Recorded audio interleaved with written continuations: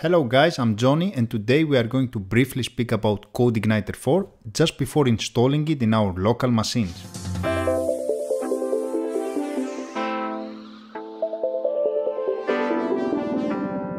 Now firstly for people that are not aware of what CodeIgniter is, CodeIgniter used to be one of the best PHP frameworks in the world, but as CodeIgniter now is pretty old, they've needed to do a big change. CodeIgniter 4 is exactly that. A complete rewrite of the code and a brand new and fast PHP framework.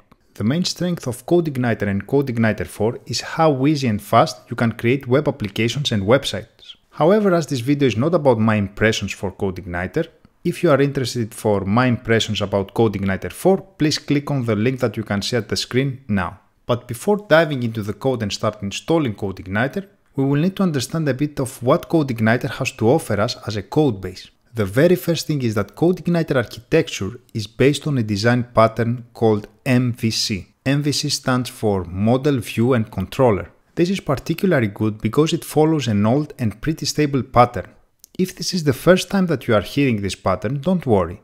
At the upcoming videos, we are going to explain it with as many details as possible. Second, and I believe the most important, is that CodeIgniter is well known about the PHP libraries and helpers that it has.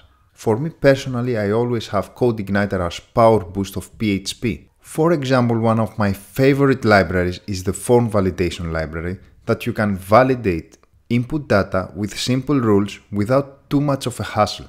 See for example here how easy I am implementing a form validation that I'm validating the email and the password.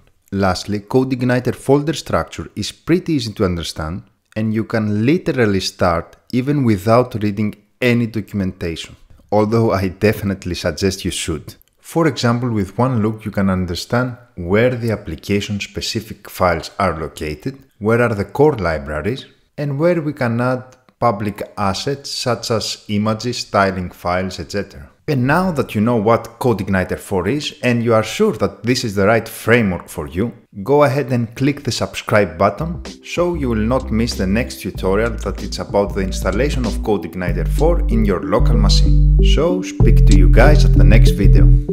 Bye!